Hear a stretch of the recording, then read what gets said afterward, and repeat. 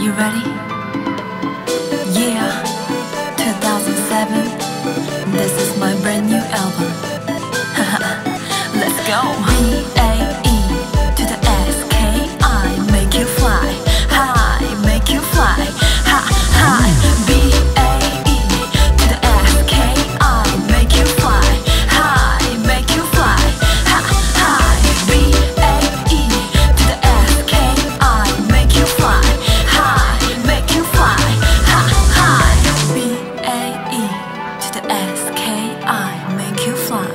high, make you fly.